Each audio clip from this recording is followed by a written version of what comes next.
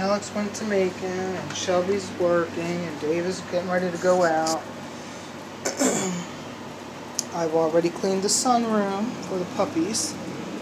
I'm about to clean my kitchen from last night's dinner. Everybody's doing really well.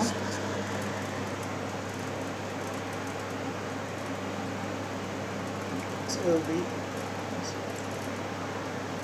He's after something over there. He's doing really well. He's five weeks old. Going to be six weeks old on Tuesday. Look at these little munchkins. Just at about three weeks old.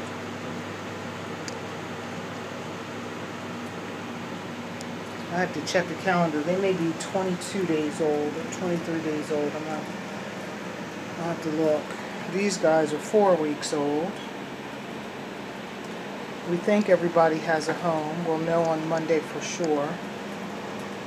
Some of these pups will be going home right before Christmas. Some will be going home the week of Christmas. And then our last group of pups will be going home over uh, right at around New Year's.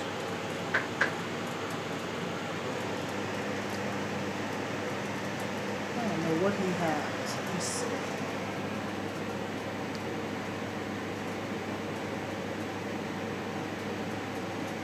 He's just beating up on one of his stuffed animals. So Thanksgiving is over. I'm going to go in here and clean my kitchen now. Looks like it's going to be a nice day out.